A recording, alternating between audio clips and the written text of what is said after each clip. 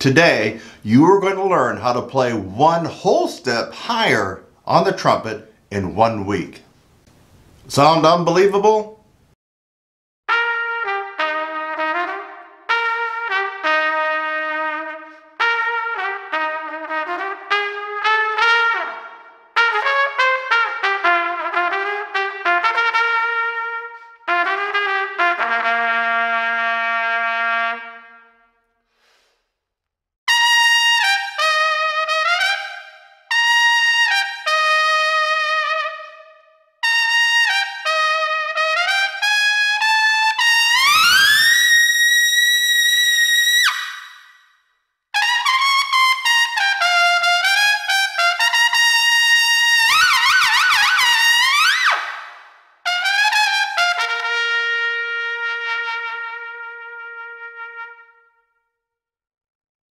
This is installment 3 or trumpet lesson 3 in this series on how to play higher in one week. Let me give you this friendly warning. This is not going to be a tutorial, a trumpet lesson about long tones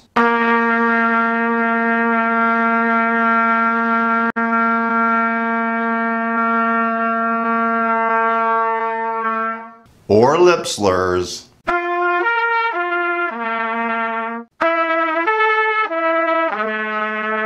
Yeah, so I'm not going to give you that generic advice that you already know or that you likely have already found on YouTube or that you likely have heard from your trumpet instructor, especially if you're a trumpet major at some college or university. You're not going to get that here. You already know it or it can be easily found on YouTube. Before I continue, please make sure to subscribe to this channel to get amazing and unusual trumpet lesson tutorials. By the way, also lessons for tuba, trombone, cornet, flugelhorn, French horn, baritone, euphonium. Yes, it's all here at Trumpet Sizzle. So subscribe right now and hit that little bell notification so you'll be alerted anytime I put up a new video. So if you've been following along and watching the other trumpet lessons in this series, You'll notice that each trumpet lesson said you could gain a half step in range in one week. But if you listen carefully at the beginning of this video, I told you you could gain an amazing one whole step in one week. You didn't miss here, and I wasn't fooling around. This particular trumpet lesson is going to focus on technique. Yes, a lot of brute strength is required to play skillfully in the upper register on the trumpet or any brass instrument. However, you cannot forget about technique. Technique is essential. Unfortunately, so many people are using the wrong technique to play and excel in the upper register of the trumpet or any brass instrument. Okay, I can hear you say, Kurt, get on with this. What is this amazing technique you keep referring to that will give me one whole step in one week? Okay, you ready for the technique? You ready? Are you ready? The technique I'm going to share with you right now is called lip roll-in. Roll in, R-O-L-L-I-N, lip roll-in. And it really amazes me how many people don't know about this and how many people don't do it. And for those who know about it, they still don't do it. I can't tell you how many times I've gone on YouTube to see people start their playing and not roll in. And it looks something like this. The lips are just like this. The horn comes up like this. And that's it. There's no rolling. So if I'm going to play in the upper register, it's going to go something like this.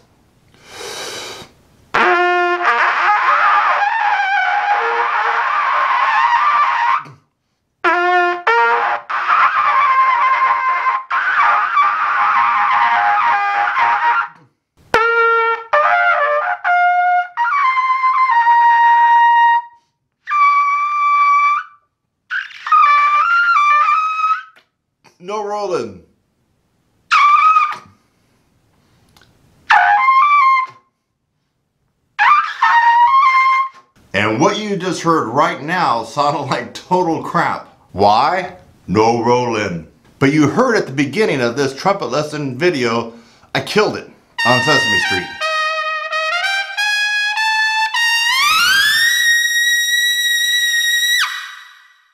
Do you look like this when you play in the upper register of the trumpet?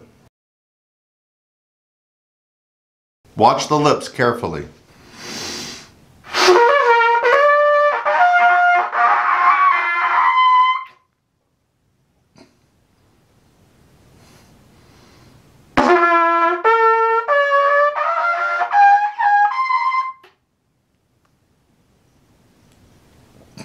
Me actually roll in and show you the difference so you can hear it and see it.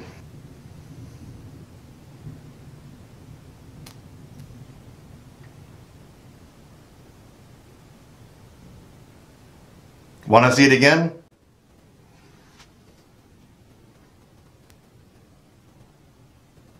Now, let me go ahead and apply that technique of rolling to playing the horn. Remember, this could be applied to tuba, trombone, French horn, baritone, euphonium, cornet, flugelhorn, E-flat cornet.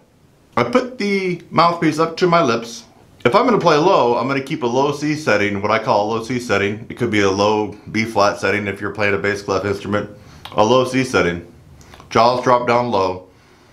More of a pooch in your lips. Not much rolling.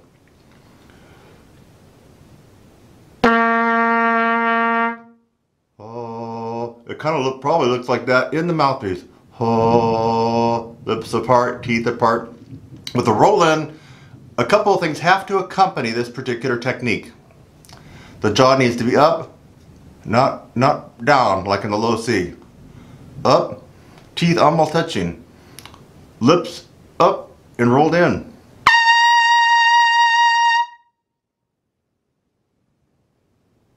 rolled in. More extreme now.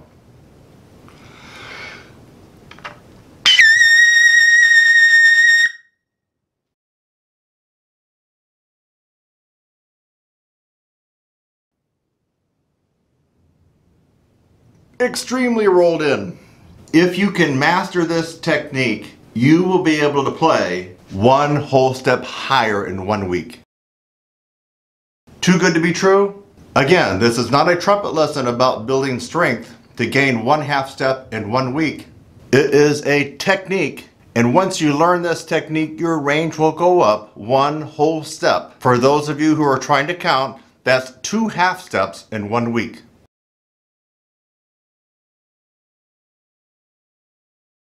Now here are two strategies that can help you gain this technique. Number one, use a mirror. Yes, you heard right. Practice this technique in front of a mirror. Or maybe you can borrow your mom or sister's makeup mirror. You know the little round one that flips around and one kind of magnifies and you can just set it on something? So use a mirror to see what's going on and try to shadow and mimic exactly what you saw me do in this video. You're going to roll in. Strategy number two, get with a professional trumpet instructor who can show you this technique in person or via Skype. Okay, so did you learn something today? If you did, here's a reminder again to subscribe to this channel. There's a lot of amazing content and actionable material that you can use starting right today. Now I want to turn it over to you. Are you going to use this amazing trumpet lesson technique to skyrocket your range in one week?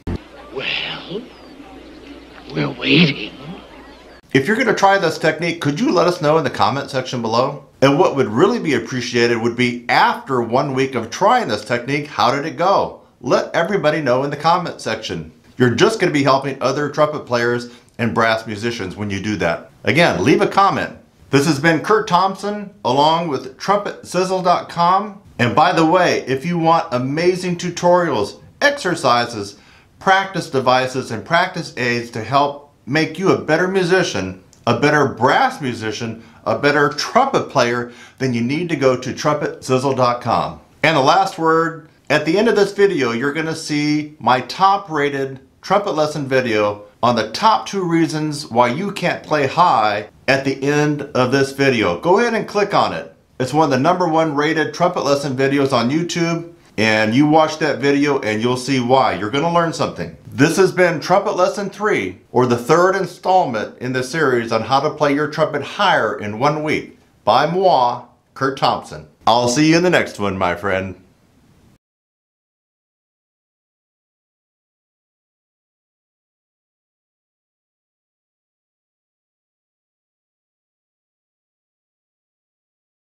on the trumpet in one week.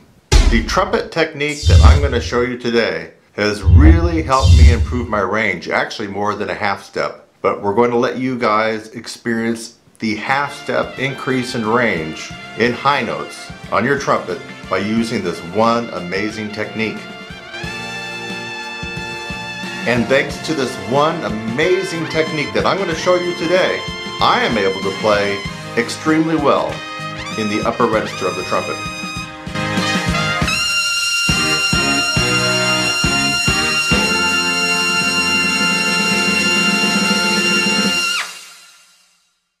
Now let me give you this warning. We're not going to be going over the same old same old that you already know about. Lip slurs.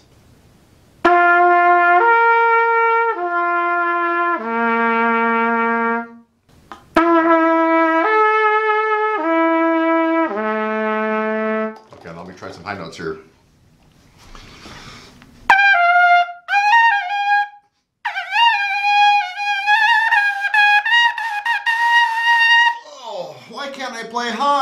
Playing lip slurs. Long tones. Okay.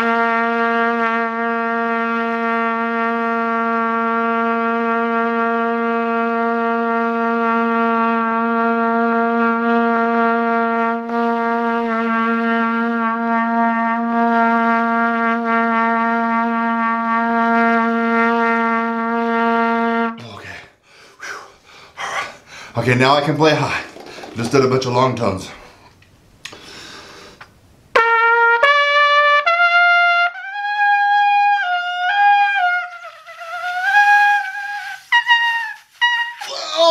Can't play high, even doing long tones. So yeah, this is a warning. You're not going to get that same old advice that you've already been given, long tones and lip slurs. It can only take you so far. You are going to get an amazing, unique technique. I'm Kurt Thompson, trumpetsizzle.com. Let's dive into it right now. So are you one of those trumpet players that want to play higher? Yeah, me too. You're gonna love this technique. I'm gonna give you the good, the bad, and maybe the ugly of this technique. It's so simple. You're going to be doing Roy Stevens no pressure system palming.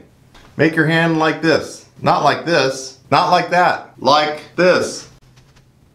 Give me a high five. Your hand stiff and flat. Now I want you to turn it over. This is my left hand. You're gonna turn it over, you're gonna make it like a shelf. Almost like a shelf, you know, like you could set something on. See? It's a shelf. You can set a mouthpiece on there, see? Just like a shelf. Take your horn, put it on that shelf. Do not allow your fingers to do this. Even a little bit. Your hands and fingers need to be stiff and straight, almost like popsicle stick.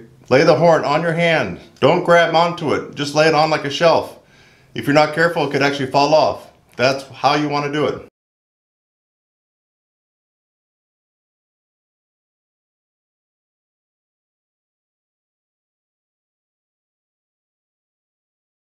It's just like a shelf. Here we go. I want you to put it up to your lips. Now, here's parallel. You can have a little angle on it, which will help seal the vibration. This is parallel, approximately. Here's an angle. Put it up where you normally would play, and play a little C.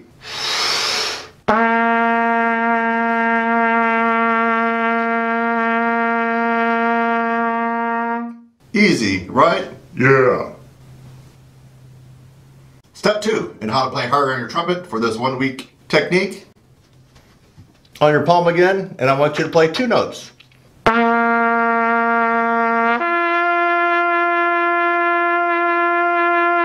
So far, so good, right? Yeah. Seems like we have an echo in this room. Step three, you're gonna add a note. So, so far we've done the low C on trumpet. We did the low C to the G on trumpet. Now we're gonna add a third note, the C. This has to be slurred and it has to be about mezzo forte to forte, which means medium loud to loud. Remember, hands like a shelf. Lay the trumpet on the shelf. Parallel, you can add an angle to it.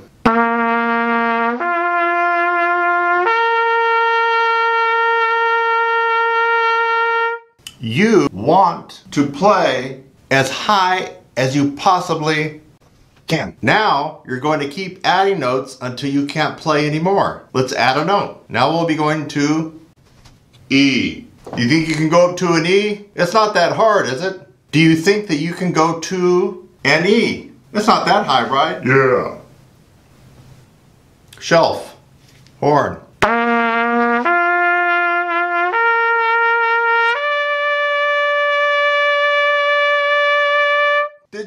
Something? Each time I start down on the low C, we went low C, low C, G, low C, G, C, low C, G, C, E. Each time that you repeat it, you always start back on the low C.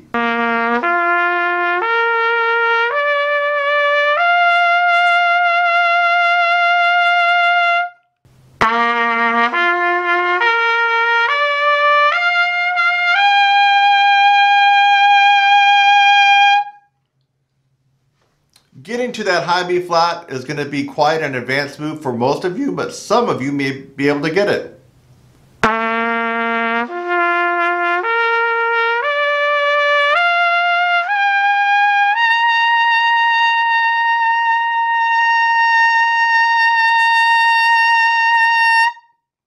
That was high C, doing the Roy Stevens palming, no pressure system. If you can get up to high C like that, and it was loud, you really have strong chops. You really have strong chops. Yeah. You want a half step increase in your range? Seven days, my friends. Seven. Seven days. Every day.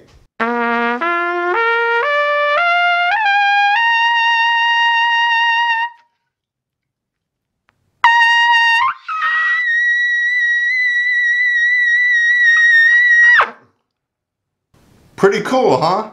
So now I want to turn it over to you. So did you learn something? Are you actually going to try this technique? Are you actually going to try it for seven days? If so, let me know in the comment section. Love to hear from you, especially if you tried it for seven days and you got that eye range happening. The last word, if you want exclusive tutorials, lessons, and strategies that you can only get here, you gotta go to trumpetsizzle.com. I have something that's gonna help you get better. Tutorials, lessons, DVDs, practice aids, practice devices, exercises.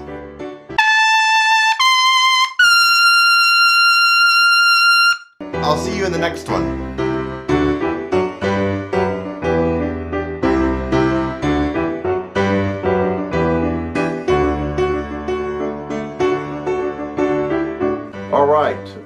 Go on to some demonstration with some of the other instruments. What if you don't play trumpet? What if you play French horn? So for French horn, I'm going to hold it like this. Let me kind of back up a little bit. I'm going to hold it like this and just, you can see how I'm holding it with my hands, just palming it. All right, let's see what we can do with trombone.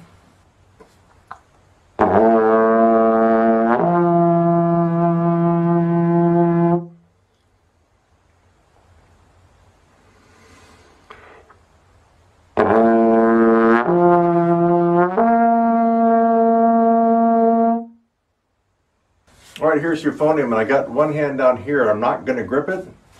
And um, actually, this is a baritone, and I got the other hand like this, so I'm not gripping anything like that. I'm not able to pull it in, and I'm just going to start um, on a lower note.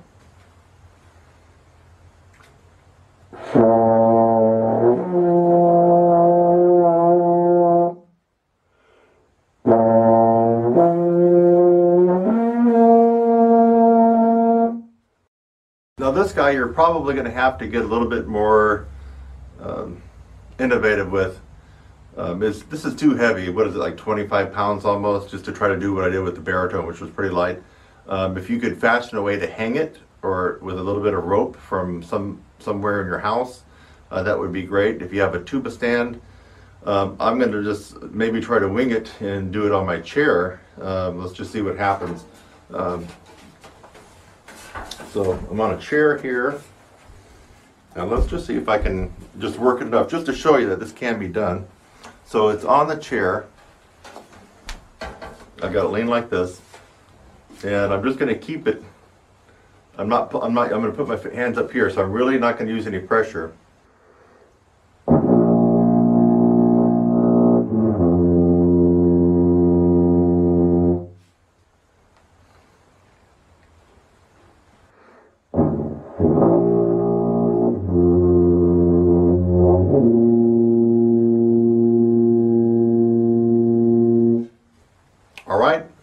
Turning right now? So this would actually be better if you had a tuba stand and you just bring your mouth up to it and don't even touch it. But you could see that I was using no pressure just with the tips of my fingers.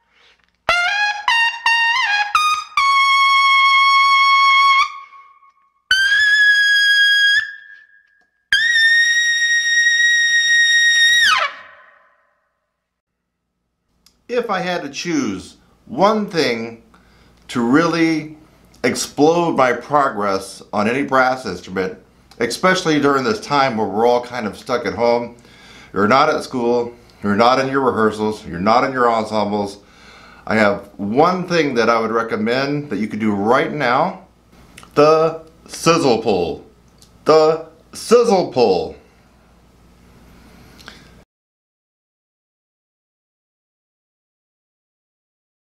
Is the logical evolution of the PETE. For many of you that have, let me get out of the way so you can really see it clearly. There we go, should, should come into focus a little bit better. For many of you who have the PETE, this is the evolution of the PETE. It does everything that the PETE does and a lot more. It's like the PETE on steroids. It has another, what, 10, 15, 20 um, variations that you can use. It's solid metal. It has some cushion beads on it, not to tear up the inside of your mouth. This is the sizzle pull. You can get this along with a tutorial for it. If you didn't want to embark on the best number one rated embouchure improvement program in the world, which is my 16 week brass upper register course, the new revised one. If you're not ready to take on that and tackle that, which actually that's the one that you should really be doing.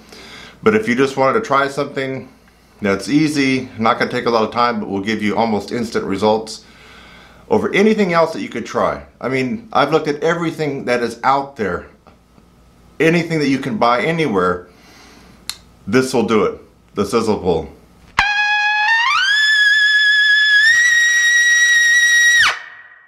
This is a pull.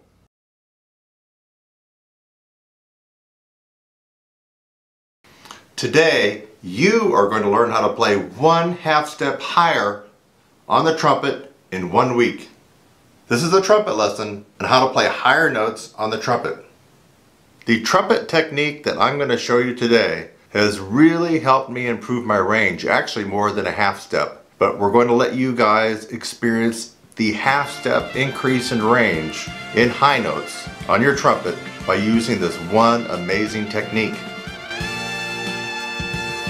And thanks to this one amazing technique that I'm going to show you today, I am able to play extremely well in the upper register of the trumpet.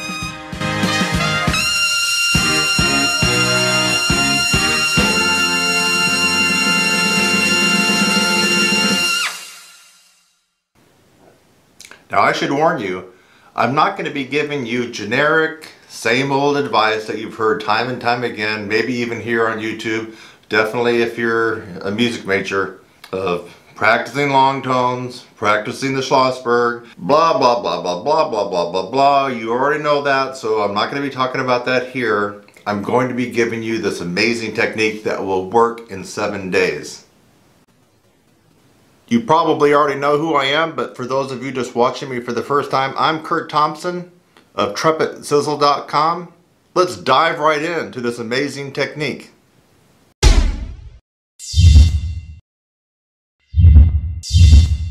You know, a long time ago, I was like you, struggling to increase my range, my accuracy, my power, and the real biggie, the endurance, the ability to last an entire rehearsal or performance. And yes, some of it does work. You know, I tried the long tone thing. In fact, I still play long tones. I still do that. But not as a way to really jack up my range. I mean, I tried that. I had trumpet teachers that told me to lip buzz and mouthpiece buzz 45 minutes a day before I even touched the horn. I tried all that stuff. I didn't really get much out of it, folks. And we're just a few days away from St. Patty's Day, so why not tilt the odds in our favor? I got all green on because this is my lucky day, but it's going to be even your luckier day when you get this extra half step in range in one week. This is not a joke, this is the real deal for improving higher notes on your trumpet in just one week. This is quite cool. You just have to do it. All right, here we go. First, you are going to be taking the trumpet mouthpiece and placing it in the center of your chops the way you normally would. You're going to start off on a relatively easy note. Say, for example, middle C. Now watch carefully. I'm going to repeat middle C going to my left and this will probably be your right but I'm going to repeat it several times as I slide the mouthpiece across my chops to my left corner. That's probably your right. Watch.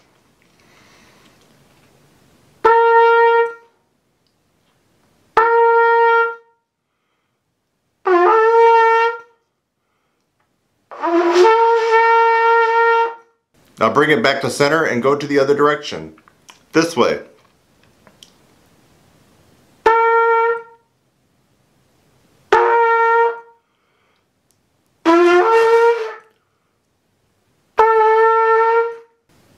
Crazy, right?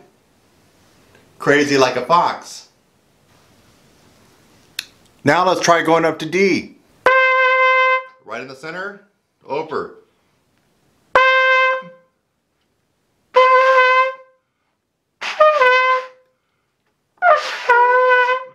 Bring it back to the center and head the other direction.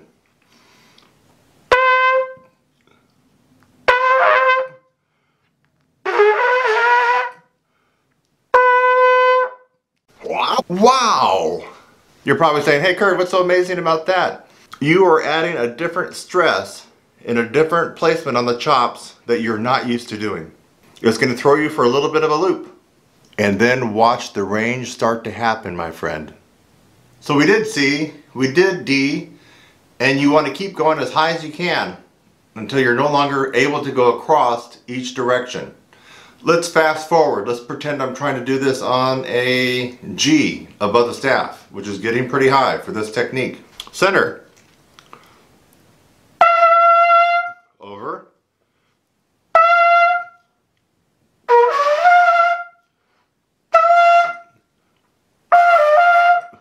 Getting tough. Back center, we're going to go this direction.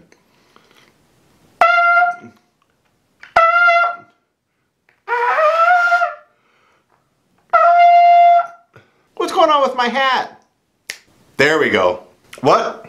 No. You didn't ask me right now to try this on a high C. It's a crazy, amazing, wild, quirky technique, but on a high C? Huh? What? Ah, what the F. You want to hear it on a high C? It's going to sound ho horrible. It's going to sound god-awful. Let's try it.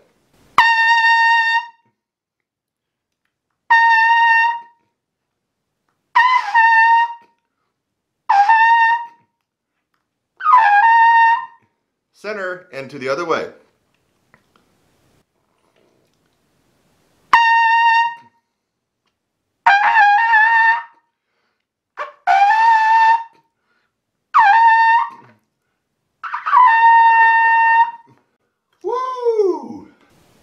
Green hat. The green, the look of the Irish. The reason I was able to do this on high C. Now, this technique is an amazing technique and you will get one half step in one week on your trumpet. This has been a trumpet lesson on how to play higher on trumpet. And actually, it will work for trombone, tuba, French horn, euphonium, baritone. Now, will this amazing, powerful trumpet technique allow you to do this?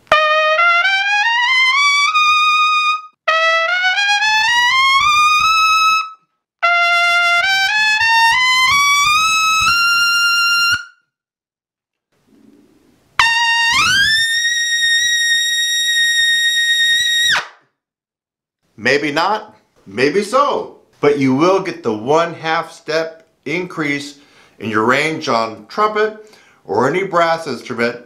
I promise you that in one week. So after going through this one amazing technique with me and having observed how to do it, did you learn something new today? Are you going to try this technique? Why wouldn't you try this technique? Well anyway, if you did learn something new today, make sure to subscribe to my channel, Trumpet Sizzle. It's easy. Just click on that rectangular red button that says subscribe below, right below. Maybe it's right there. It's right there. Just click on it and you'll be automatically subscribed. I'd also hit that bell notification. That way, every time I upload something you might be interested in, you'll get a notification of it right away. And by the way, if you want exclusive training, courses, tutorials, practice aids, exercises, all for brass players, trumpet, tuba, euphonium, baritone, French horn, cornet, flugelhorn, then head on over to trumpetsizzle.com. Trumpetsizzle.com.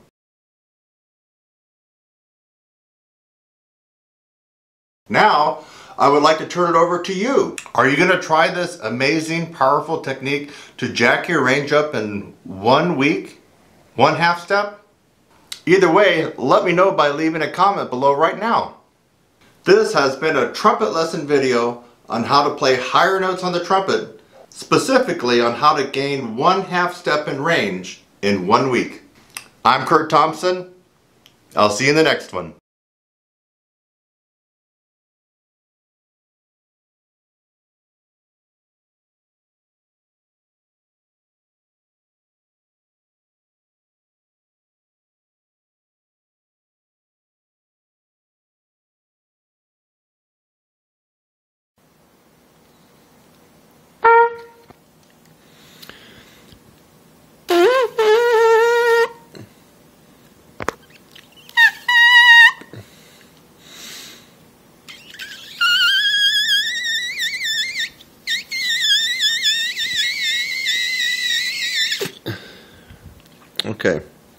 C, high C, and double C buzz.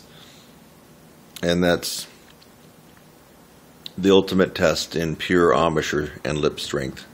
Notice I was doing the real lip buzz. I wasn't doing the little puff out your thing that eighth graders do. No, I was doing the real lip buzz with an embouchure set, my lips rolled in, like I'm blowing into the horn. So make sure you're comparing apples to apples. What I did was the real lip buzz, free lip buzzing, like you got your embouchure set. So if you do this, that doesn't. That's not what we're talking about. We're talking about real free lip buzzing, which requires an enormous amount of embouchure strength, and you can always just about count on the fact that if you can buzz a certain note. It's likely you can play about an octave higher than that. Buzz a high C, you can probably play double C. Buzz a middle C, you can probably play high C.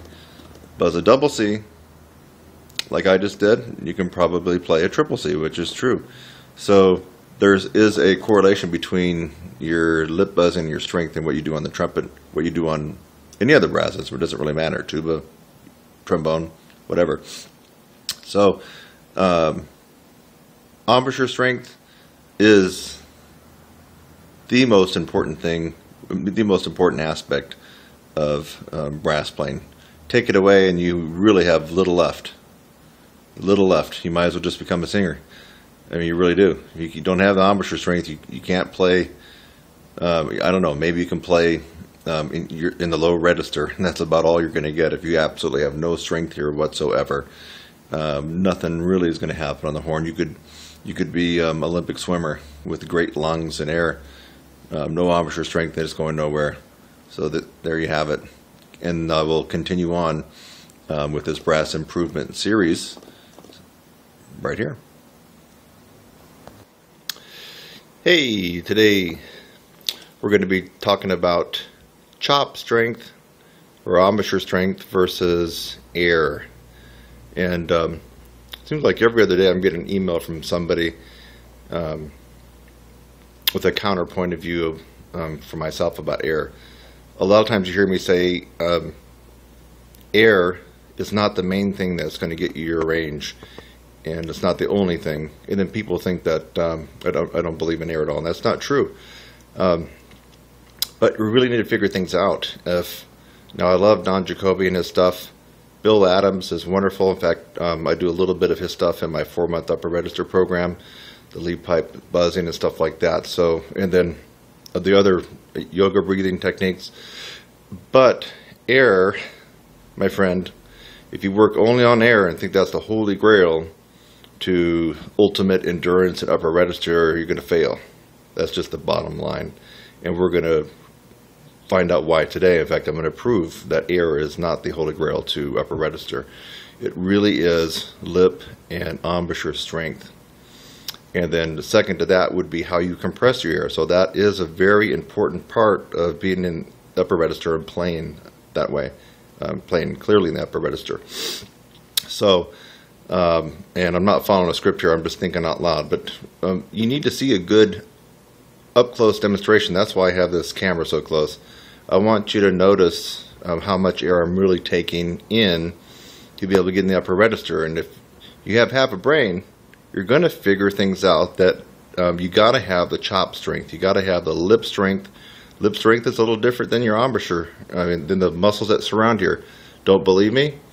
Watch some autopsies. It's pretty gruesome, but you're going to see that the musculature of the face right through here our embouchure actually is different tissue than what you have right here. And so this is a little something different here that we want to work on to get stronger. You have to have lip strength to withstand the pressure of the air coming out.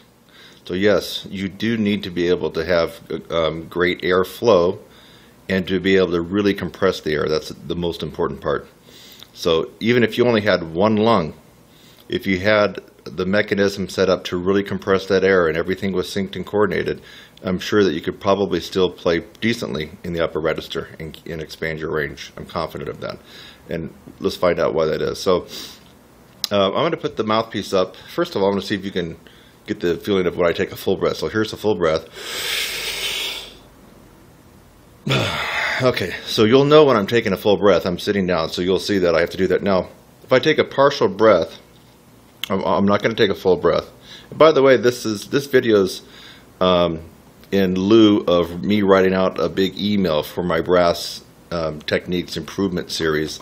I'm just basically it's going to be this video, so you're not going to see a long email. This is the next installment in the brass players improvement um, email series I do on Facebook. So I'll just be watching this and taking notes. So uh, check this out. And I'm going to try to make it clear when I do take a larger breath. So you need to see my lips. Try to get it close. I'm putting the mouthpiece up. I'm going to take about 20% air. Here we go. That's it.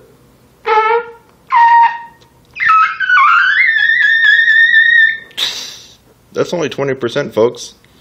Now, I didn't exactly have the accuracy that I wanted because I didn't have the airstream pushing it forward. But that's pure embouchure strength. Let's do it again. I'm going to take about the same amount of air, about 20%. Here we go. It's only 20.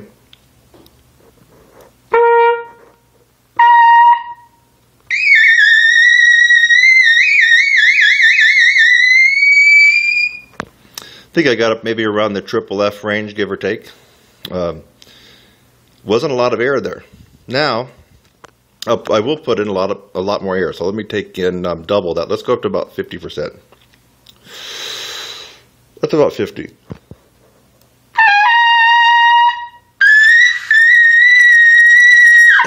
So I'm getting more sound out, and the air um, that I'm blowing through my chops is more air, more quantity, and it's actually probably a little bit faster, of course.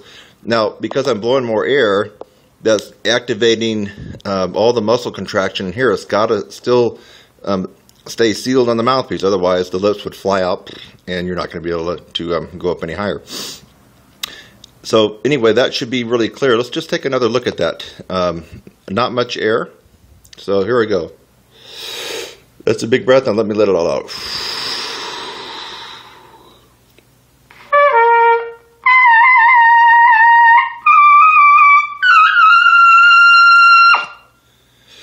Basically, you saw me playing a double G, that's a double concert F, on the trumpet with virtually no air. Did, did anybody check that out? I basically had hardly any air. And how loud was it? It came out about MF. So wait a minute. Now let's go back to Don Jacoby, and um, we can even include Stamps and um, some of these other guys, um, Bill Adams, uh, real big proponents. Even my hero, Bud Brisbois, real big proponent of um, his wedge breath. He was the he was the original wedge breath guy. Um, Shew came after him. Bud Boy, Bud Brisbois is the original, the originator of um, wedge breath breathing. In case you guys didn't know that, and there's actually two versions. The Shew version, Bobby Shew's, is a little bit different, more applicable to like real time playing. But Bud Brisbois um, basically said his way of um, breathing, this wedge breath, was the reason he could play so high. And um, um, tell you the truth, that was I don't believe that's true. the guy had incredible chops, and um, uh, I'm pretty confident that even if he had um, only one lung or wasn't breathing as quite as good as he did in the wedge breath um, that he originated, he could still play very very well in the upper register. He had a natural setup, and so I think he was trying to explain why he could play so well. Sometimes when players are born with natural leverage and a natural ability to really compress air, they're not quite exactly sure what they're doing. So they, they look to rationalize how they're able to do it. You can watch Maynard, um, one of the, the ultimate um, talent in upper register. His just look at his face. He had the nat- he had a natural setup.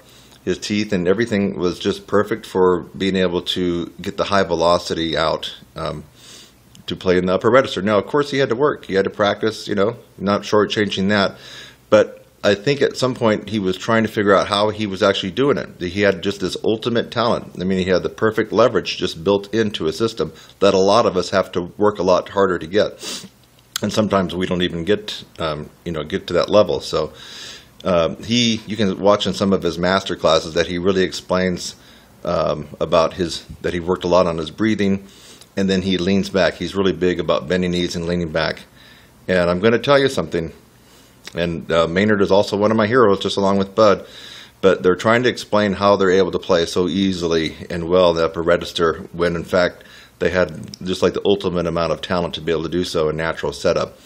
Um, I'm confident that you can take in a big gulp of air and practice yoga, lean back, bend your knees, and you're not going to be sounding like Maynard. And you're not going to really get that much upper register. You're going to have to do something to strengthen this um, area up here in your face you have to have the strength up here. There's just no question. And um, what do um, a lot of people tell you to do? Do long tones, take stuff up an take stuff up an octave, play in the upper register, and really work on your airflow, and you'll get there. Uh, nope, it doesn't cut it. It doesn't cut it. Now, it might for some people, some people who are already predisposed and have the natural great leverage in their in their face right here, their tongue. Maybe they got a small. If you have a smaller oral cavity, and you're using your tongue arch, you really can speed up there a lot faster. So, um, I mean, there's a lot of things that really go into this to making um, natural leverage. So yes, the people that have gained a lot of range and can excel very well in the upper and extreme upper reg register of any brass instrument, if they did the long tones, if they really worked on their breathing, if they played stuff up an octave, they might actually just get um, to where they wanted to, to be and where everybody wants to be, but mainly because they had already a predisposition predisposition for natural leverage and um, and a great um, um compression ability just through their genetics. So um, the rest of us, uh, you're going to have to really be strategic about getting this strength and unfortunately, for most of us, not one method and not one technique is going to get you there. In other words, uh, you can't just do Bill Adams' method and get there. It's going to work for some people, but will it work for you or me? I don't know.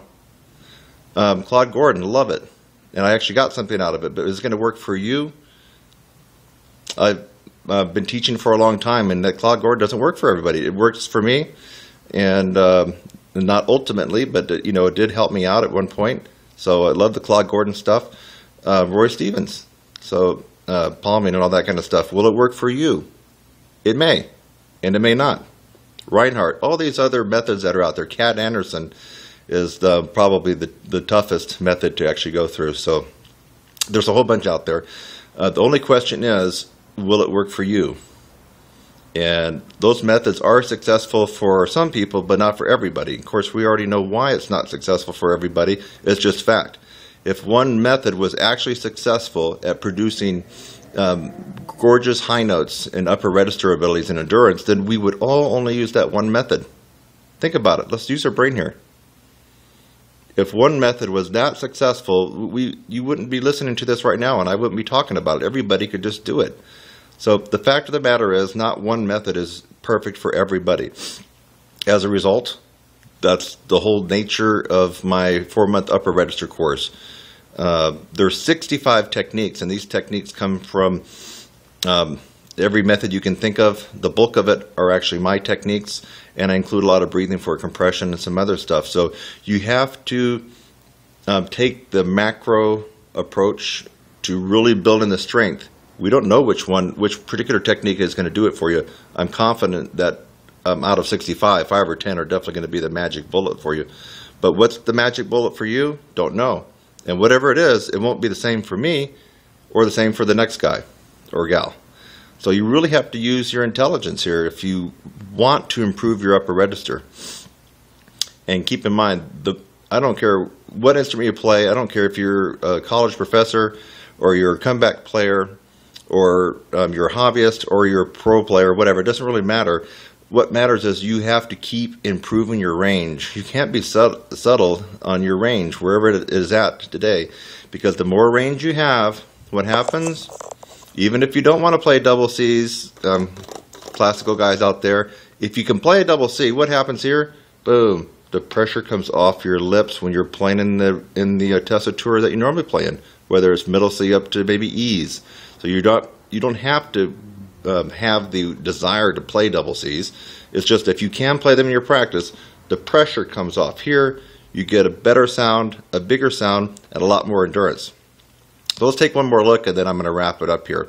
Really, the air is important, and to compress the air, you really have to arch the tongue in your mouth up, like you're saying in or E or T. Your tongue's actually like this. That is doing the arch. Like that. And you're blowing the air from the back of your throat up and over the tongue, and it comes out the aperture. Now that's great. We got to have that air.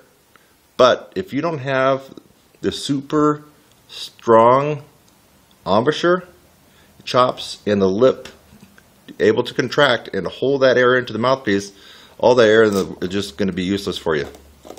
And that's um, this brass improvement email series. Hope you get a lot out of it. You're seeing a real good close up of me, maybe too close. Let's take another look at the mouthpiece. So I'm putting the mouthpiece right on my chops and take a small amount of air.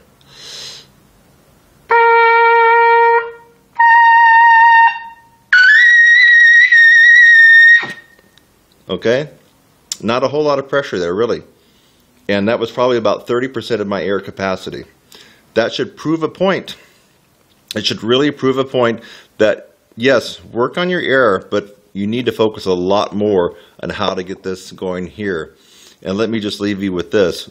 If you're pounding away and banging your head at one method, and you keep wondering why it doesn't work, but you know it should work because it works for everybody else, well, that's um, erroneous thinking right there. You really need to take the shotgun approach. I'm here to tell you, you got to take the shotgun approach, the macro point of view, uh, when it comes to really increasing your strength in your face, your lips, and everything else. You just got to do it. Otherwise, you're going to be one of those guys that um, sticks with a method um, because you don't want to, um, I guess, admit that you made the wrong decision. You'll stick with that me- method for all your life, and you'll always have problems in the upper register. So, use your intelligence. Think about things in an intelligent way. And I'm Kurt Thompson. Hope this made a little sense to you. And today's date, by the way, happens to be March 7th, 2013. Take care.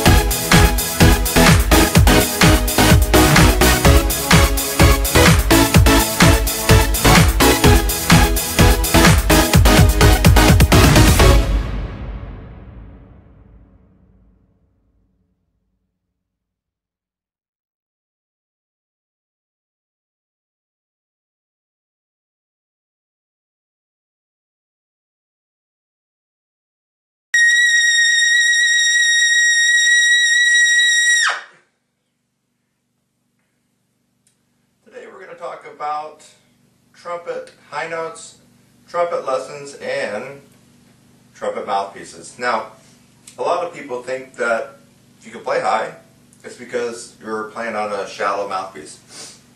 In fact, a lot of people that are unable to play high, when they hear someone play high, will say that they're using a, a cheater mouthpiece or a shallow mouthpiece to be able to get those notes. That's not necessarily so.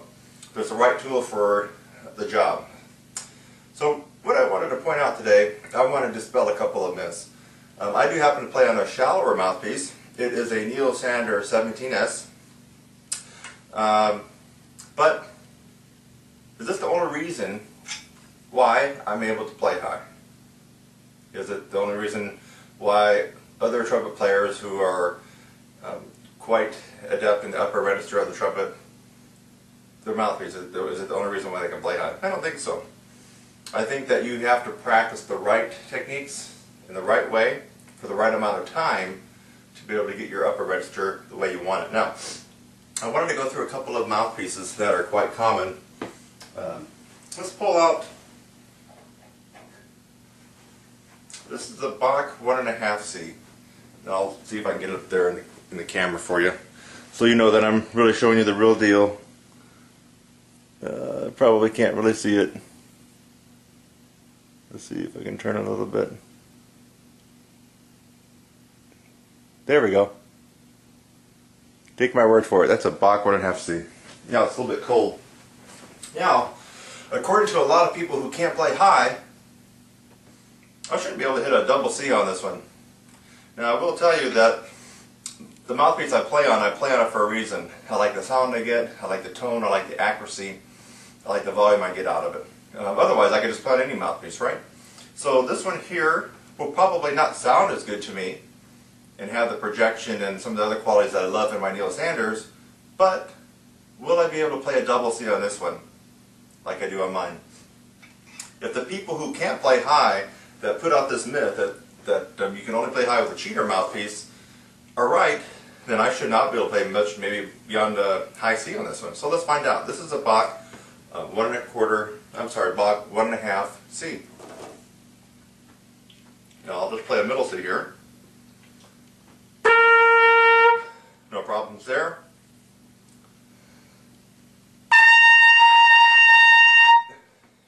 Does seem a little bit harder than mine.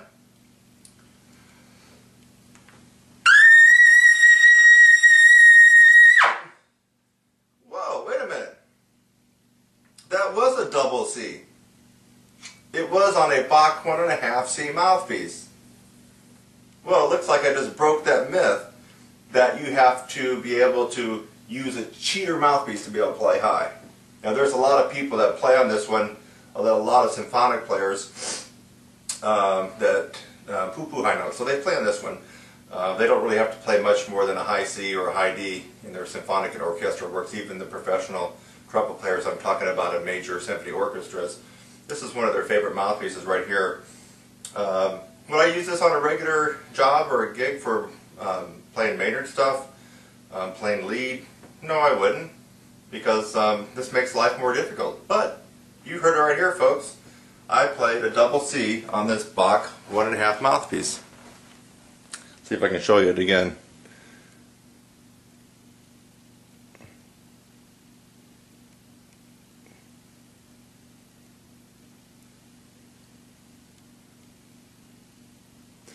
Well, before I put this one away, I got a couple other ones to show you. Let me put let me put it right back in. This is the Bach one and a half C mouthpiece. I'll put it right back in my horn. Let's just see if that was a fluke. Maybe it's a one-time fluke and I won't be able to get it again.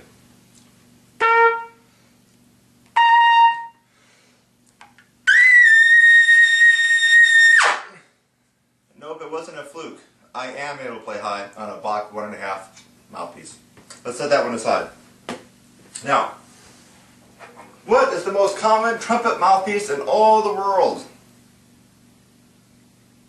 If you answered a 7C, you are correct. I'm going to see what happens when we get out the 7C. Now watch this video carefully because this is all uncut. There's the 7C. Can everybody see it? I'm going to leave it in the video. I'm coming back around. Coming back around, there's no cutting or editing. Here's the Bach 7C. This is what you get typically when you buy a new horn. Typically what beginners play on it. Very few professionals play on a 7C. There might be one out of a thousand that would play on a 7C. Well, let me try it. Now, supposedly, um, I shouldn't be able to play on high on this one either, right? It's a 7C mouthpiece, not a cheater mouthpiece, not a lead mouthpiece. Let's see what happens. Now, if you watch the video, I've been going on continuously there, so there's been no monkey business. It's still in my horn.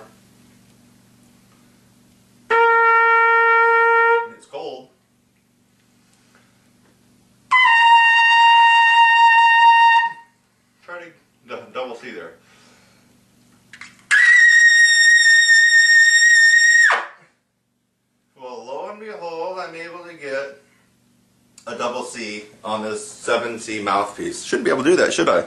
According to the people who can't play high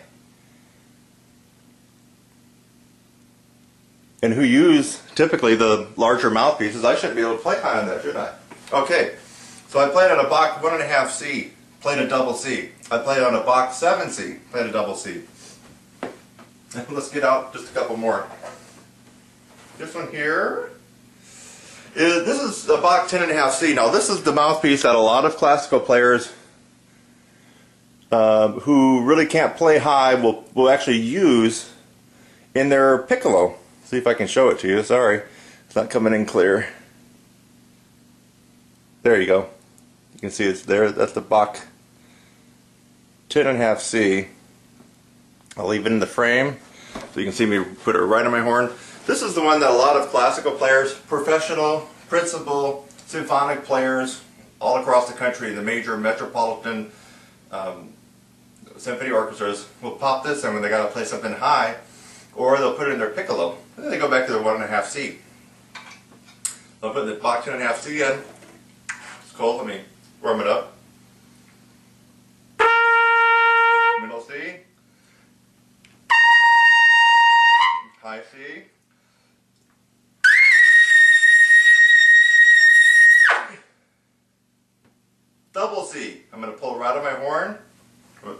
Saw exactly what I was playing on. This is no trick photography here. It's a Bach 10.5 C. Oh, what is this? This is a Bach 12. Bach 12C. We'll try that one. I've actually never played on a 12C before. I borrowed a couple of these mouthpieces just for this demonstration.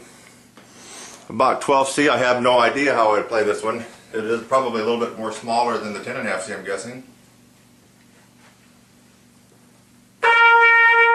Middle C. High C.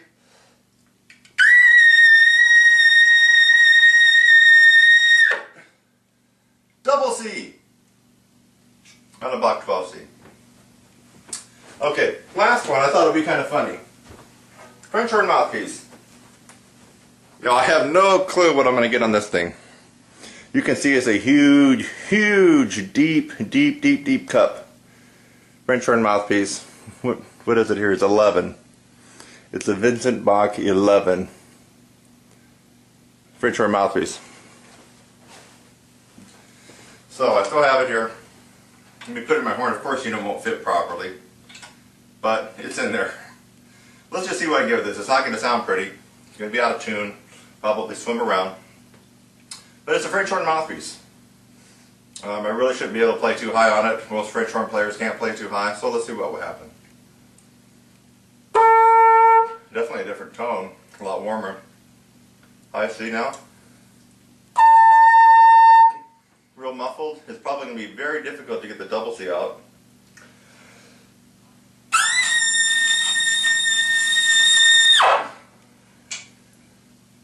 You heard it right there. Got a double C on a French horn mouthpiece in my trumpet. So, let's go back to my mouthpiece. Neill Sanders, 17S. There you go, you can kind of see it there. There we go. Neill Sanders. You can tell it's beat up. This is the very mouthpiece that I played Gabriel, Gabriel Maynard Ferguson's Gabriel on um, quite a number of years ago. So if you happen to see my video doing that one, um, or hear it somewhere. This is the same mouthpiece I used for that one. Now let's go back. You're going to notice that I can, of course, still play the high note. It's just going to have more of a punch, more power. That's your middle C. Here's your high C.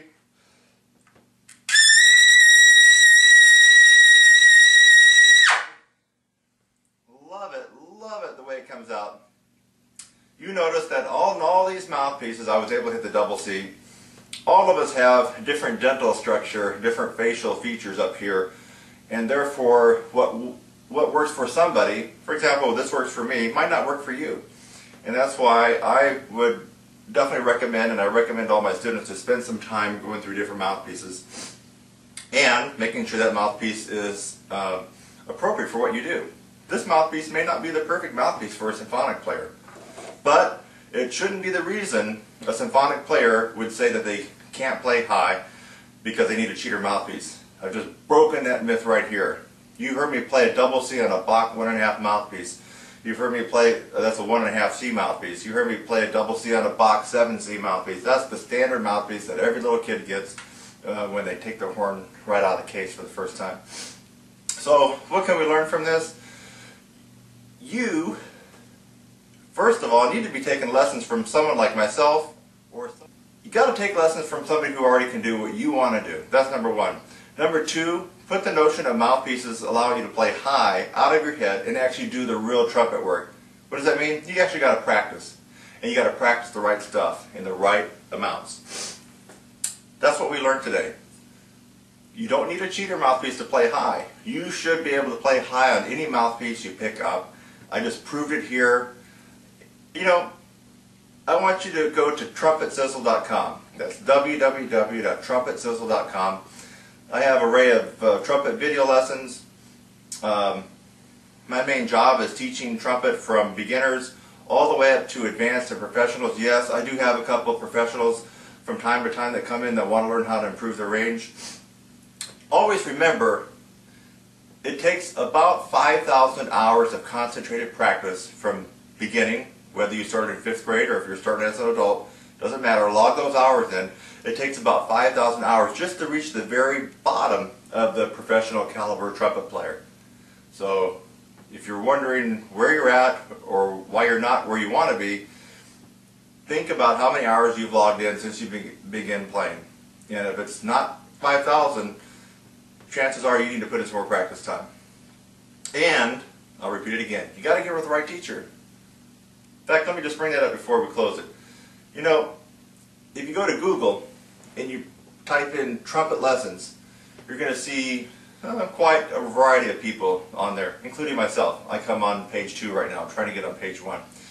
But you want to get with a trumpet instructor who not only can tell you how to play high, show you how to play high, but actually has been out there in front of an audience with different bands playing um, upper register trumpet music. Anyway, what I've noticed is that a lot of these trumpet players that you you're going to find that pop up on Google on page one right away, uh, if you try to search their name and find out what they've done, what they played, um, some of them you can't even find a live video of them playing.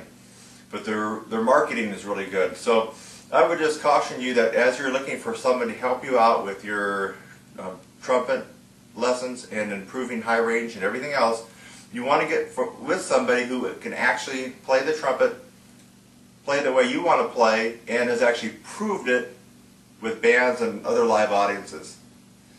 Go to trumpetsizzle.com. See you there.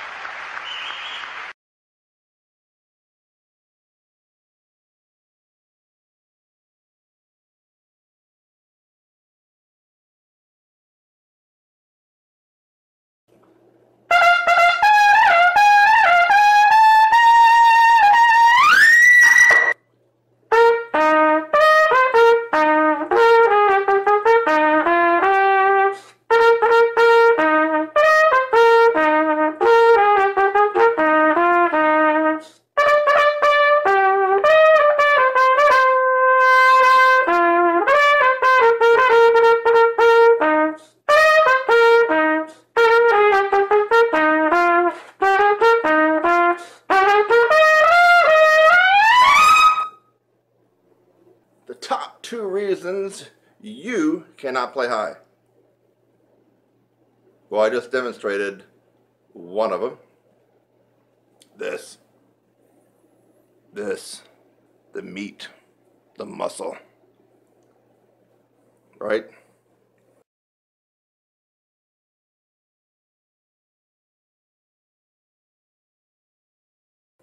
But you already knew that, right? Yeah. You know you got to have chops. You got to build this. Everything. All these muscles, everything. It's all got to be built up strong. So you know that one, but maybe you didn't. Uh, maybe you thought it was talent. Okay? A lot of people think it's just talent. Can't play high. I was just born to play third chair. Just the way it is. Don't get mad about it. Don't beat yourself up over it. You just weren't born with the talent to be able to play high. Uh, actually, some people feel that way. But that is 100% wrong, 100% incorrect. That's your belief system, but it's not reality. Your belief system, but not reality. So the top reason that you can't play high is you haven't gone through the process of training this and the whole mechanism from diaphragm to here to here to out to the horn. You haven't gone through that process. Now you can look at vi uh, video, YouTube after YouTube. In fact, I just crossed over the 600 mark on my YouTube channel. Uh, videos available to the public. You can watch them all. You're not going to get that miraculous improvement in range and endurance just by watching videos, even though I'm giving you some good advice and others are giving you good advice. You have to go through the process. The process is systematically applying so many different angles at your chops, your breathing, your tongue strategically over a period of time infused with momentum. That's what the process is. And um, you're not likely to have gone through that process if you're watching this video, or maybe you're just watching it just for giggles. But um, you have to go through the process. It seems like a lot of teachers that can actually play decently high are not taking their students through the process. And um, as a result, the students don't end up playing as well as the teacher, and they don't even make that much improvement. It's about the process, not about one or two techniques or a routine that you're going to do. About the process.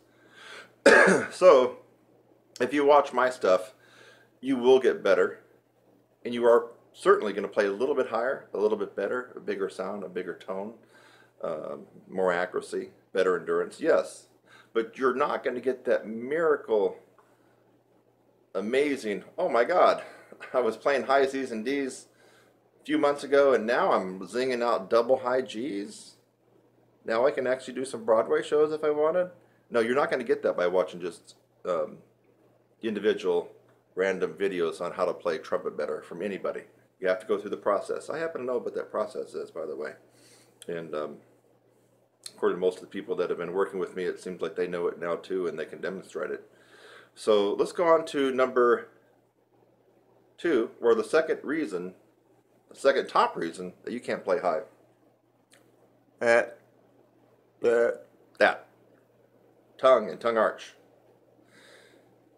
Now, you can still play high without the tongue arch. I'm going to play high right now, leaving my tongue dropped in a low C positioning. And now it's not going to sound good at all.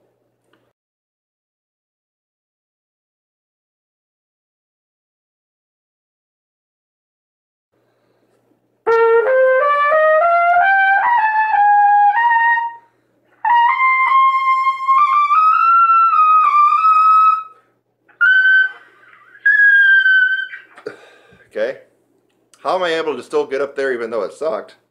I had the chops. But having the chops is one part of the equation. If you don't have the tongue arch, my friend, you can have the range. F, G, weak, kind of brittle sounding, stiff sounding, not that powerful. But I can get those notes. That proves you right there that if you're still not doing some things right, that you can still gain some altitude just by developing your chops, but that's not going to um, be the panacea. And what you're thinking about as an end result of how you want to play. So the tongue arch, the less space you have in your mouth when the air is coming out, you're going to zing out higher notes because the air is going to be speeding past the lips, vibrating them faster, vibrating the air that goes into here, coming out here, it's going to all be faster. Okay. So how do we do that? It's the tongue arch. And it's kind of one of the most elusive techniques on the trumpet. It really is. I, I get people that can actually play pretty decently um, up to high C, D, even E, and um, they're not using tongue arch, but they're so used to not using tongue arch that they can actually play sometimes at the professional level or as a professional in a symphony. It's quite amazing how they can do that. They're making things in life very, very hard by doing that, but yet they've accommodated not being able, not knowing about the tongue arch or not being able to do it. so what if you had a screwed up embouchure, or what if you thought you didn't play correctly? Well, here's my natural setting. What if I played poorly? Let's move the mouthpiece over a little bit. There we go, see it?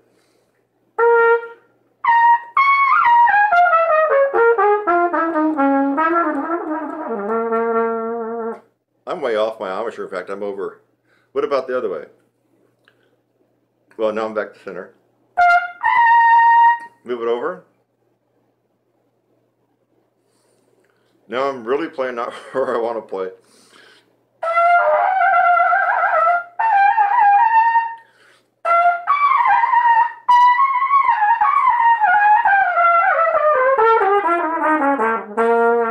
Can still do it, but it sucked that on that one side compared to the other. So I, I've showed you that with no tongue arch, I can still play high playing on a totally screwed up embouchure, one side to the other like that, I can still play some, you know, actually into the upper register above high C. So it's the tongue arch. Tongue arch. So quit looking at whether or not you got a bad embouchure, a defective embouchure, whether or not um, you think that you're playing a little off center and your teacher's on you for that. You play too high, play too low, um, you can work on that stuff later, but that's not your problem. The problem is tongue arch, um, especially if you've got the other part handled, the, um, the musculature, the armature, and the strength. But a lot of people don't got that handled either. But it's the tongue arch. With the tongue arch, you can do quite amazing things. So if you can play um, high B flats, Bs, and Cs with the perfectly executed and advanced tongue arch, that those high Cs automatically turn into E's and F's with no change in the musculature and the strengthening of the embouchure here. Tongue arch works wonders. That's the second reason that you can't play the, and if it's the top, the second reason, or it's the second place why almost all brass players can't get altitude and can't have good endurance. It seems to be mis mystical and ambiguous, foggy, murky, unclear what the tongue arch really is. But basically, if you can anchor, take the tip of your tongue, that's the tip. Take it and put it under, uh, um, behind your teeth, your lower teeth. Here's upper, lower. Take the tip, go down, yeah, anchor it. I have the tip anchored right at the bottom of my lower teeth where the teeth kind of almost turn into the gums, you know, right at that gum line or you run out of teeth and you can feel the wet gum. That's where you anchor the tip of your tongue. Yeah and then the tongue arches up. Like you're saying in, or E-I-N-G, swimming, mm. yeah. So that's when you're at maximum tongue arch. And here's a good test for you. Know I made another tutorial about this, but it was kind of shorter. So you can try this on different things. Purpose, here's me going from second line G to C on purpose. Okay?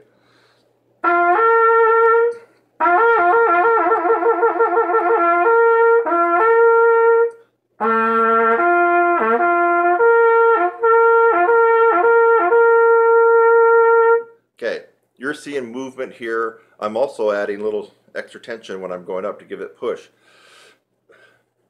The way to really get the feeling of tongue arch, so it's not theory, is actually something real, real that you're doing, is to purposely try not to get the top note, yet raise your tongue in an arch position.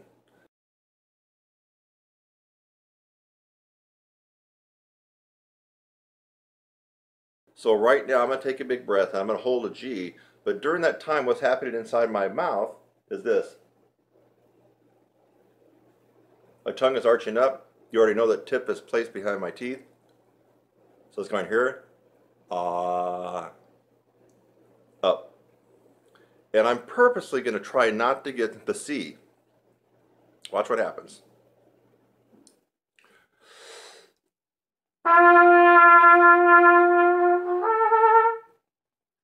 Hear that? Of course, it didn't sound good, but I'm purposely trying not to get the C. I don't want the C to come out.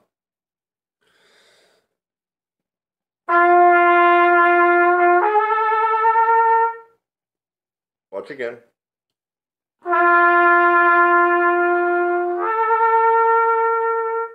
Again.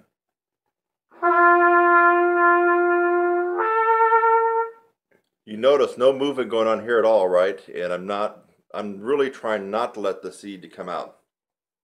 That's your assignment. If you can get that to happen, you've executed the tongue arch quite perfectly. Now, it doesn't stop there. The tongue has to be developed and you have to be able to hold the tongue arch under a lot of undue pressure when you're above high C.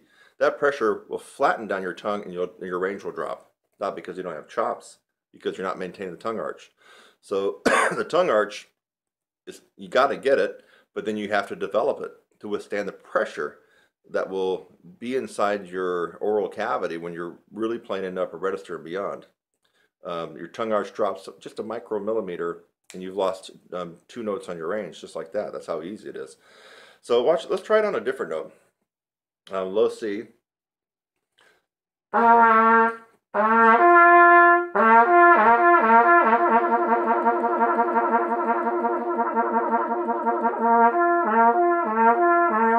trying to do that, right? You can tell. What if I take a big breath and purposely stay on that low C? Don't let that G come out.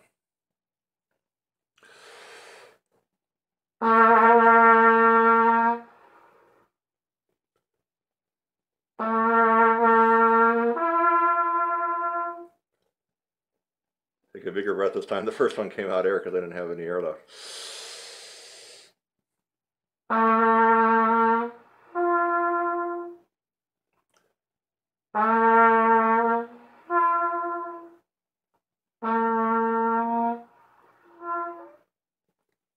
Even low C to G, which is a wider interval, isn't it? It's a, another note wider. So you're going to fifth.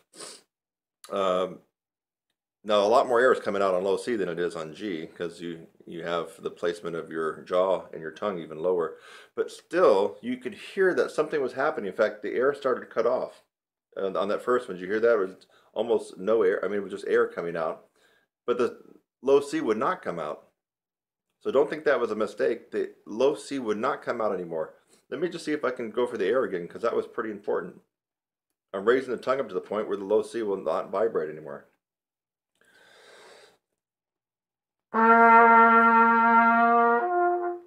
Well, now that time the note came out. No, hold on, try it again. trying to keep the low C down, but I'm raising my tongue into a tongue arch.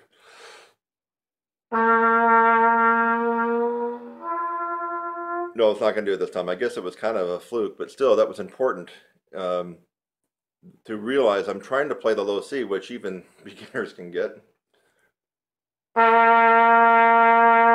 So you know something was going on inside here. I mean, if I can't play the low C, something really is as bad, as bad and it's going to something bad's going to happen. Maybe the the end of the world tonight. I can't play a low C, and if you can't play a low C, it's probably the same thing. Now, if I'm playing a low C and I do something inside my mouth that causes the low C not to come out, you know I'm doing something. You know something is going on. You just have to know that. So I was probably speeding up the air too fast for the low C to come out. And it was in the little twilight zone area right before the G was going to snap out. So um, I'm not even sure if I've even tried this on C to E.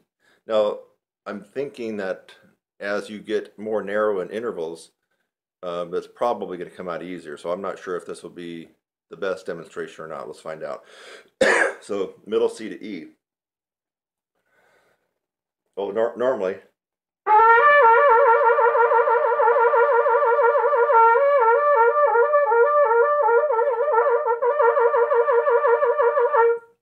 Now, without, I'm going to try to keep it at middle C and not let the E to come out. Oh no, okay, it gets easier as you go higher actually.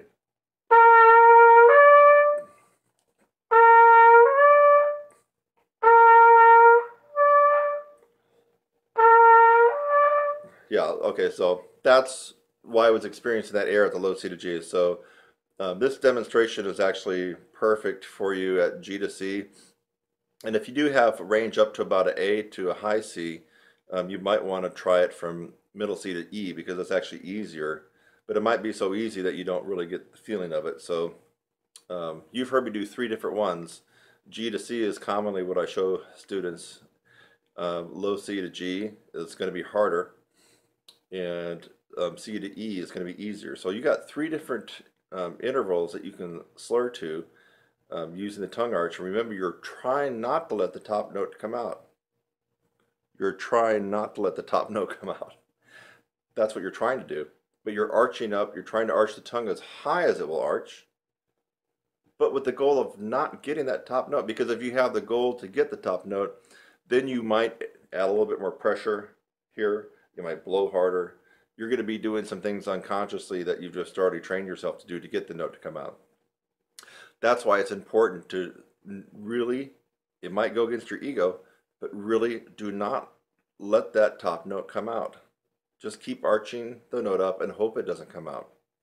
And when the top note does come out, if it does for you, um, then you know that you've got the tongue arch decently perfected, um, but just not strengthened. I mean, the tongue arch, you either get it or you don't, right? It's, there's not really a gray area. You got it perfected, you can do it, or you don't have it at all. There's not really a middle ground. You either got it or you don't. After that point, it's about developing your tongue and the tongue, tongue arch to really be refined and just amazingly uh, versatile when you're playing. That's where I come in. Have you ever heard that I got a website called trumpetsizzle.com and that I teach a lot of people? uh, especially a lot of advanced and professional players uh, that want to get better with endurance and range. Well, if you haven't heard about it, um, you're just hearing it now. I actually do that. That's kind of actually what I'm good at, and um, I do good at some other things too. But that's I kind of have this natural knack for helping people out with that. So if you'd like to learn more, you can definitely look at more videos here. And if you're watching this, why not go ahead and subscribe? Uh, you can support me. You're, you're going to get an instant um, email when I put up new videos like this. And um, I don't know, I think that you're going to learn something and become a better player. But if you really want to take the horse by the reins and run run with it, you got to do something, and that's called going through the process, which I alluded to earlier in the video.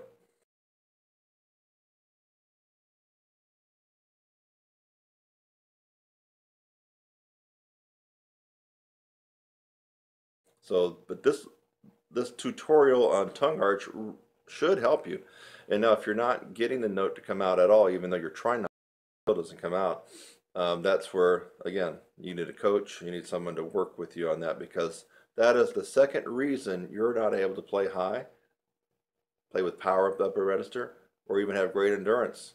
If you're constantly playing in a low C position in the upper register, you're gassing out all the muscles here. You're just putting such a load on them, and that's why you don't have any endurance. So you might even have a little range where you have no endurance. You got to get the tongue arch. It's the second reason people have problems in the upper register and with endurance. Since you've already heard me say that, you might, it's a no-brainer. Work on it. Get it going. It's worth the investment in time. So, that's a wrap.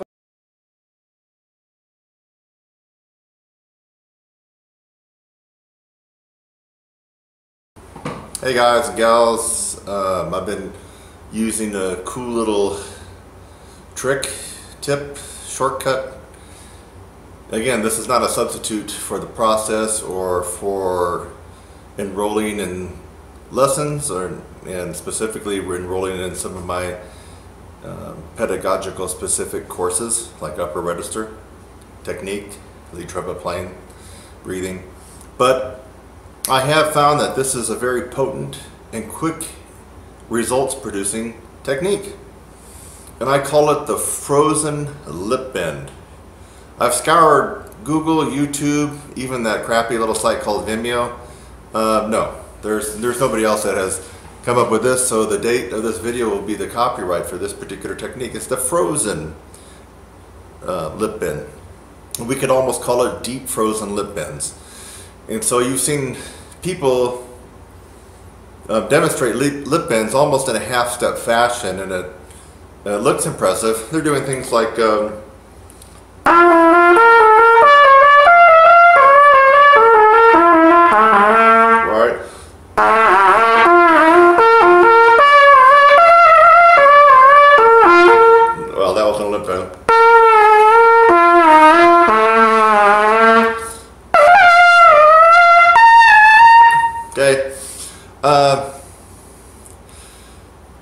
doing that in ninth grade, folks. I mean, come on. so when you see someone, a pro that's screwing around, lip bending like that, uh, that's kindergarten stuff. You want to you want to go up to the to the heavyweight league with the big boys, then you do deep, deep lip bends on any brass instrument. Not this little half-step bullshit jargon that's not going to get you anything. So here we go. Um, I like to play um, the F, the F sharp in the in the G progression down. So play the F sharp. Now no valve. Soft and increase dynamics.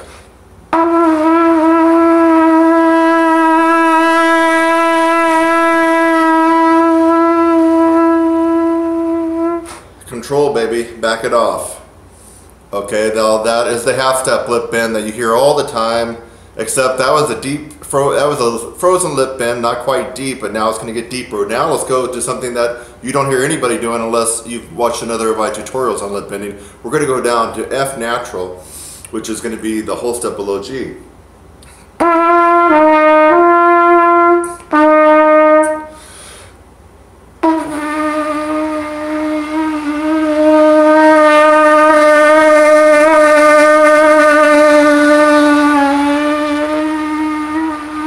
control that baby all the way back to triple pianissimo, baby. All right. This, uh, this is the big boy league, and uh, you might not even be able to do what I just did, but that doesn't mean that you couldn't do it with a little bit of practice, with trying this. This takes incredible, resilient, flexible, strong, powerful chops to be able to accommodate what I'm showing you now with this technique, the deep frozen lip bend. Let's go even deeper. Now, you'd never hear anybody, I haven't heard anybody lip bend down to an E in this part of the range of the horn of the trumpet. So G to, now we're going down a minor third.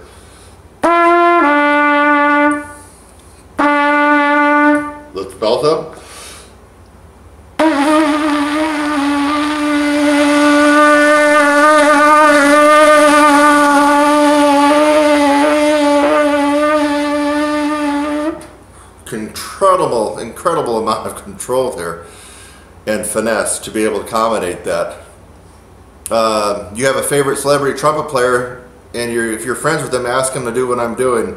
Uh, the odds are very considerable and stacked against them that they won't be able to do that.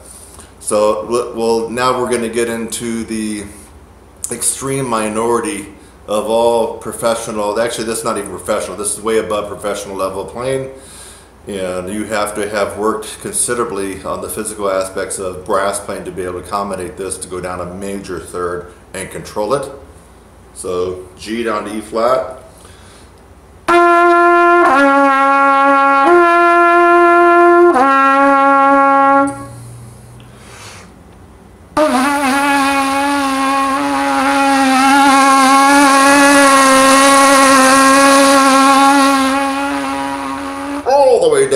Quadruple piano, ladies and gentlemen.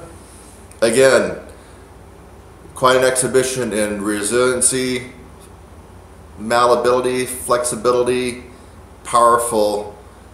Um, what other kind of adjectives can I come up with this? It's just, um, you really have to have excelled way above the typical professional commercial or orchestral player to be able to do this.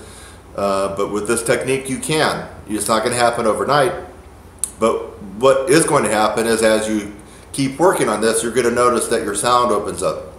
Your flexibility just becomes like like a like a hot knife through butter as you go through all registers of the horn and the facility of the horn is just going to be a piece of cake. Of course, your range is going to improve. Um, I think that this would be especially good for orchestral players uh, because I have a feeling that you're going to be able to open up and get that more brassy resonance on the mid and lower middle register of the horn, which is where a lot of this orchestral music is played, um, especially if you're not principal trumpet. So this could be very bene beneficial if you totally don't like the commercial and jazz idiom of playing and you're more into the classical, this could really benefit you in this particular register. Uh, now, let's go to no man's land. We're going to go down to perfect fourth. Man, this is like super deep. Uh, this is like the 12 foot um, uh, deep into the pool where the you know the, the high dive is. So here we go.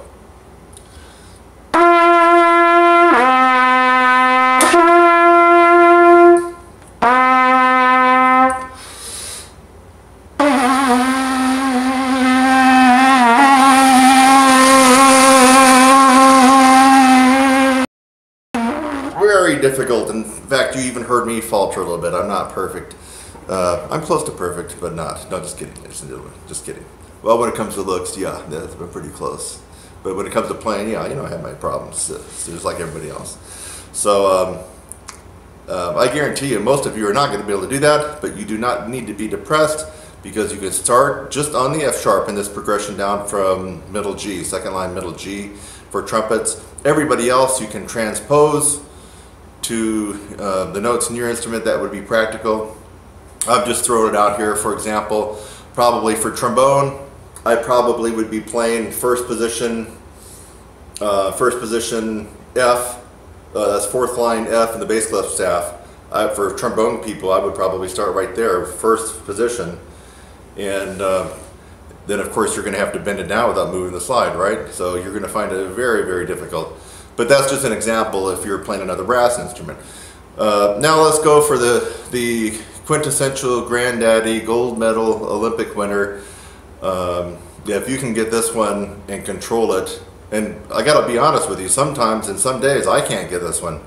That's how difficult it is. But that would be going down the tritone from G down to C sharp, um, D flat, and harmonic. Uh, this is this is almost a nightmare to try to do on a regular basis and be consistent, but I'm going to go ahead and give it a shot right now. So we're playing our G down to D flat.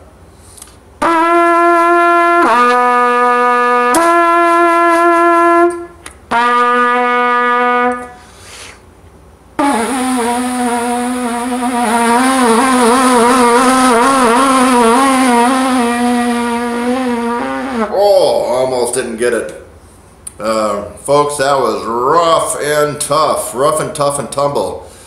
Uh, if you can do that and control it, um, um, you just certainly have to have chops. I would almost bet without hearing you playing anything else that you probably have a good core to your sound, amazing dynamics in all registers, and just great facility all over the horn, whatever brass instrument it is. So this was Kurt Thompson with another amazing proprietary and unique tip, trick, and technique for brass players that you've never heard before. And the date of this video will be its copyright. No one else has done the deep frozen lip bend. Try it, you'll like it, comment below. I'll see you in the next one.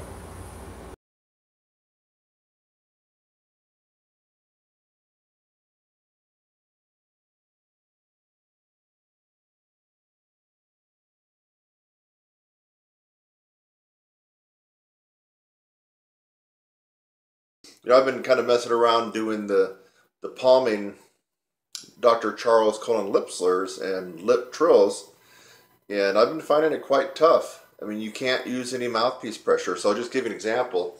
You know, you do the horn here. You know, it's palmed. You make, you make your you make your hand.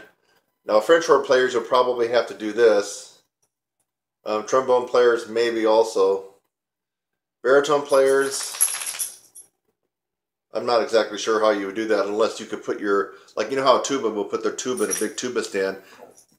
And if you put the tuba in the stand and you just went up to it with the mouthpiece like that, that would be almost the equivalent. So if you could put your euphonium or baritone in some kind of a stand, then you could probably get the technique we're after here. So you make your hand like a shelf, and I was just kind of messing around doing some lip trill, just seeing where I was at. Um, as you've heard in other past tutorials, I've been able to you know lip trill pretty decently up to triple G's, but that was using a tremendous amount of um, mouthpiece pressure at the very end, so that was pretty tough for me. But here I am. I'm gonna, actually I'm going to do it this way so you can see.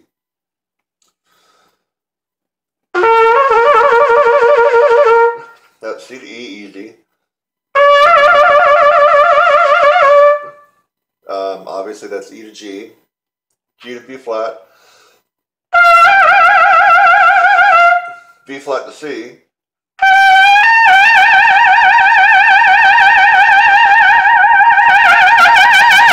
Okay, so that was B flat to high C. Now, um, also I'm doing these rather loud. I would say that was just pushing probably forte. Uh, you're not going to get too much out of your lip trills in the Charles Colin book if you're playing them pianissimo or piano. Uh, I recommend all my students that were at, the, at least at the MF mark. MF to F is good. Probably fortissimo is not good. Um, you're going to be blowing so loud, you're going to be de defeating the purpose of the technique. So keep these around MF to F. So that was a B flat to high C. So palming. Now look, look how I got it. I don't know if you can see. Um, I'm only using the weight of the horn. I'm not doing this. I'm not grabbing and pulling. There we go. Let's try to go a little higher.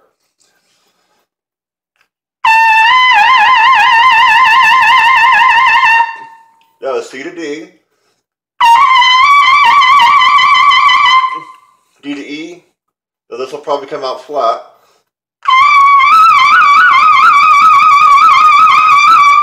And then, geez, I don't even know if I can make this last one.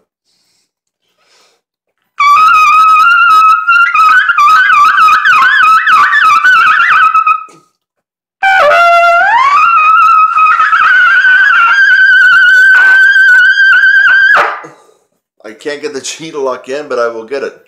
So um, I was going for the trill from F to double G. I think it kind of came out. It got a little bit weak. Let's see if I can get it again.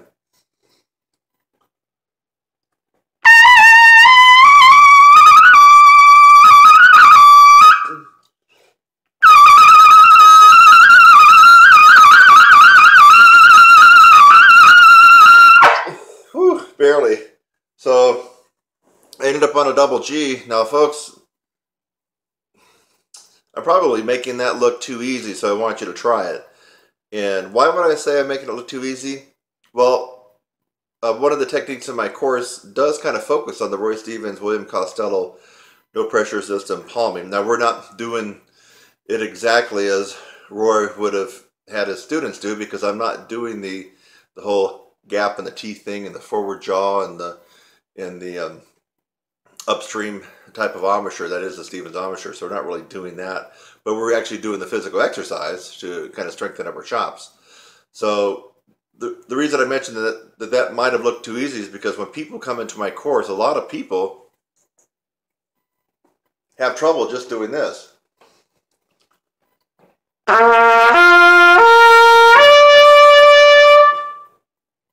Just going to the E. Now that's just a slur going up. I would say more than half the people getting in my course cannot do what I just did there. That was simply going up to a high G. Low C, G, C, E, G. And to go up the next one, now we're going to whittle out almost all people that start my course.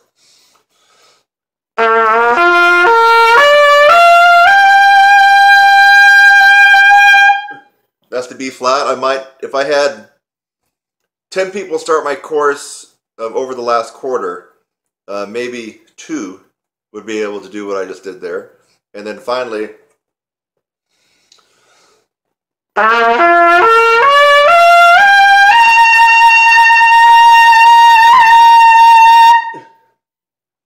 don't know. If I had 10 people start my course over the live course now, the one that they're seeing me every week, live, uh, either via Skype or on the phone. Uh, maybe one, one would be able to do what I just did right there. And that's just a maybe. So take this technique to heart in this drill, and it's a good challenge. I mean, we're all uh, brass players, and it seems like brass players, and especially trumpet players, like to like a good challenge in the competition and a challenge ourselves. And wow, can you think of a better challenge than this? Yeah, because I mean, come on. If I got on normally,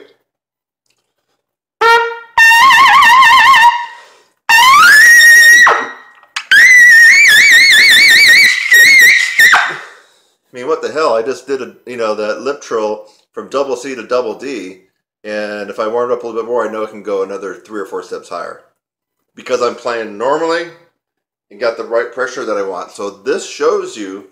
You saw that I got I kind of I kind of thinned out um, going up to that double G, lip trilling it. So um, if if I can go an octave higher playing normally, you know there's something to this technique, and I highly recommend that you start playing around and challenging yourself. Think outside the box. Use your brain. Uh, you have to constantly keep moving upwards and expanding everything and advancing your horn. It doesn't stop. It hasn't stopped with me. I'm still looking at, at areas. Um, right now, I'm looking at the jazz area. Although I feel like for a guy that's, you know, done it for, I haven't, I'm not even really seriously doing it, but I am looking at it. I am doing some different things with the